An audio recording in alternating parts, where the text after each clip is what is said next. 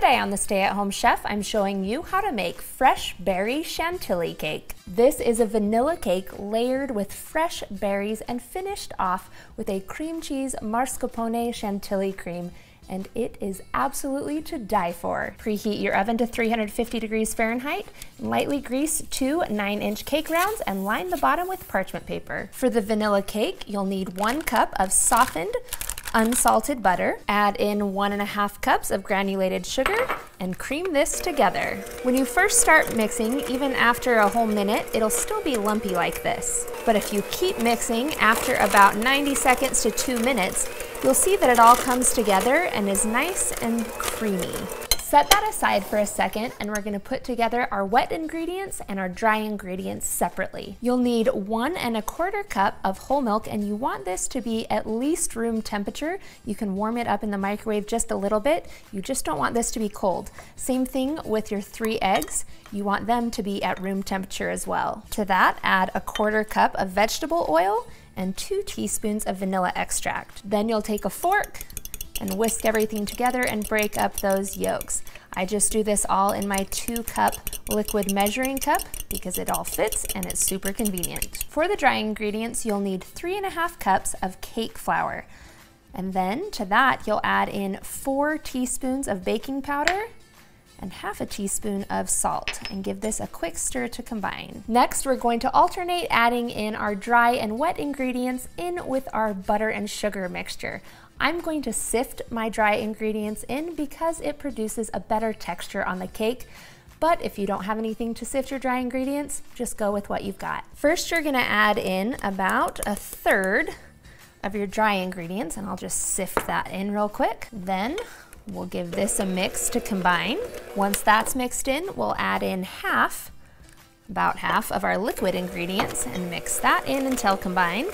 Once that's combined, we'll add in another third of our dry ingredients. And I'm sifting that today. Then mix that in.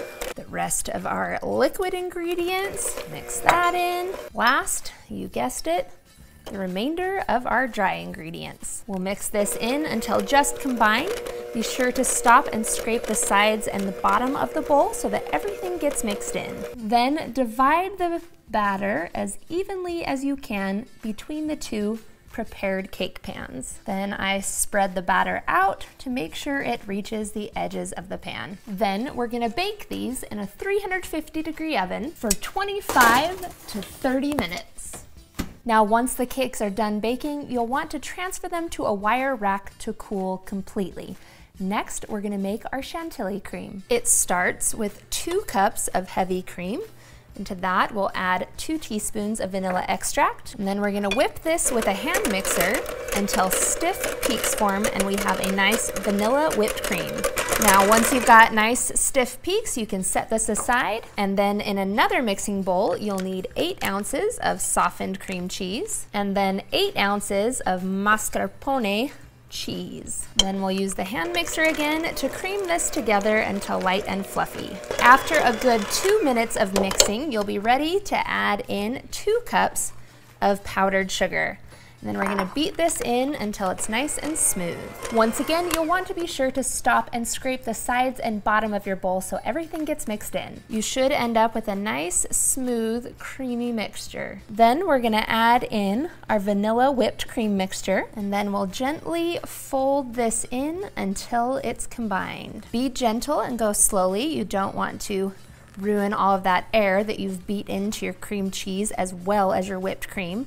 So just keep folding until there are no large streaks. Then you'll transfer this all to a piping bag and refrigerate until you're ready to assemble your cake. For the berry filling, you'll need about four cups of fresh berries and you can use any mix you want. Today I'm using sliced strawberries, blackberries, blueberries, and raspberries. Then we're going to add in the zest of one lemon, which will be about two teaspoons. Then we'll add in two tablespoons of lemon juice from that lemon and toss this together. Then you'll need two thirds a cup of seedless strawberry or raspberry jam and you're gonna add a quarter cup of water to that. We'll give this a little stir to combine. Then we'll pop this in the microwave until melted, which will take about 30 seconds. The mixture should be smooth and completely melted. At this point, we should have everything we need to assemble our cake. We're gonna slice each of our cakes in half so that we end up with four layers total. Now, it's not required, but you can slice off those brown edges to make it prettier. Then you can also level off your tops if you want, and then slice in half. Then we can start assembling our cake. So we'll put one layer on the bottom, then we're gonna drizzle on some of that raspberry goodness. Then we'll add on a layer of our chantilly cream. Then we'll add on a single layer of berries and you'll want to spread those out a little bit. And then we'll keep on layering this up until we have all four layers. So there'll be three layers of cream and berries. Once you have those three layers, you'll add on the final fourth layer and then we can frost the whole thing. And then of course you can decorate it however you'd like. And then you can finish it off with some berries and I like to use fresh berries so that they're nice and dry. Fresh berries meaning not the berries that you added the lemon zest and lemon juice to. But that's it. This cake is ready to eat. I'm gonna store it in the fridge. It is best consumed within 48 hours.